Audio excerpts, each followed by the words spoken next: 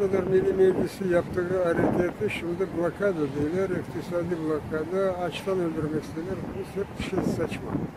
Tam tersine biz e, yalnız bu kontrabanda olmasın diye e, onları kapatacağız ve böyle büyük fuhralar kan- bu pis para kazanmasın.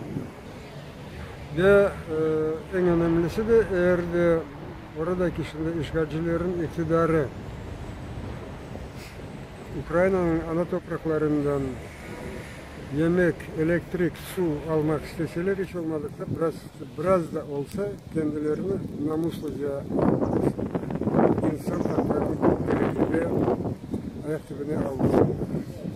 Bizim taleplerimiz oradaki mahpuslarımızı derhal serbest e, bıraksınlar, azat etsinler.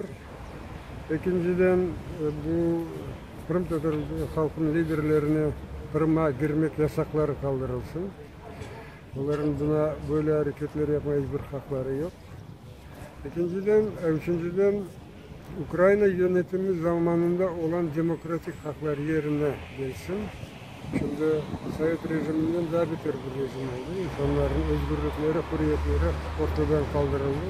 İnsanlar birbirlerinin konuşmak bile korkarlar normal vaziyet olsa o zaman ticaret elbet varmak şeklinde olur.